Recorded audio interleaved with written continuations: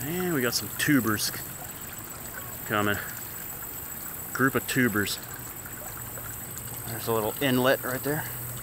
Obviously someone made a little fire here, you can see.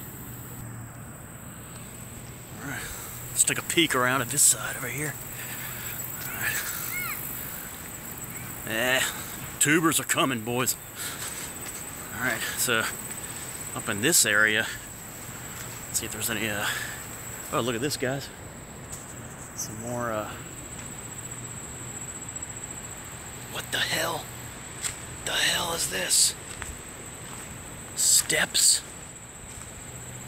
For what? There must have been some kind of a tree fort or something. I have no clue. Look at that. This is like this is the kind of place where Jason would just take care of business. Here's something else.